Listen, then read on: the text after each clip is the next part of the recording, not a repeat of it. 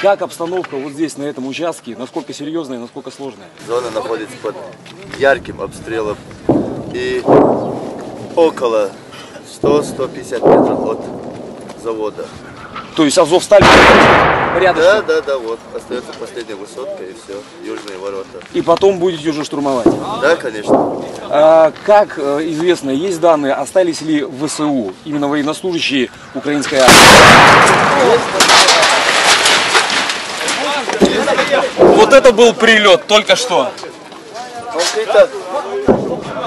Все целые парни? человека ранило, как вы видите. Все целые как? Что, ранение? А, я один. это- Зиму, зиму, зиму, да, нормально. Ранение сейчас легкое. Слышал. Это мина, скорее всего, была или РПГ? Нет, танковый снаряд. А, это танк выстрелил, понятно. Но у вас потерь нет, все хорошо. Вообще в личном составе без царапины. Чеченская республика, как всегда, показывает очень высокий Высший уровень класс. класса. Да. Когда будете Азовсталь брать? В ближайшее время, кратчайшее.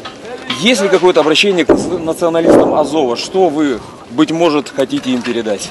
Да, конечно. Нам до этого дня говорили, что приезжайте, что в прицеле лучше видно кавказцев и бородатых, все будем и то другое с нами вытворять. Сейчас мы приехали, мы никого не видим. Как не люди они выступали, как крысы сейчас бегут. Лично нам сопротивление с ними не доводилось встречаться. Вот так.